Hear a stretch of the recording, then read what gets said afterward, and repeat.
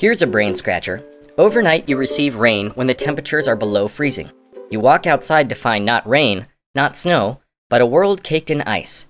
Congratulations, it's time to measure ice accretion, more commonly known as freezing rain. But before we continue, remember only to measure if you can do it safely.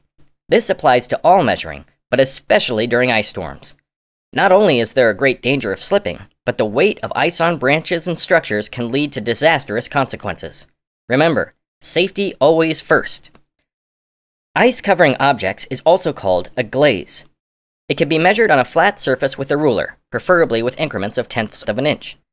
You can also measure ice accretion on branches. Just make sure to measure the radius of the ice, not the whole diameter. Because ice rarely accumulates uniformly, it's helpful to take multiple measurements and calculate an average. If it is less than a tenth of an inch, report trace. But where to report it, you may ask. Since there is no designated field on the report form for this measurement, report it in your observation notes. You can still report daily precipitation by bringing your ice glazed rain gauge inside, where you can then measure the liquid amount once it thaws. Remember, you're just measuring what fell inside the gauge, not outside, so make sure to wipe the excess moisture off with a dry towel before you measure. When you go to record your measurement on the report form, Remember that freezing rain is not reported as snowfall, but is simply reported as a daily precipitation amount, with zero recorded for the snowfall.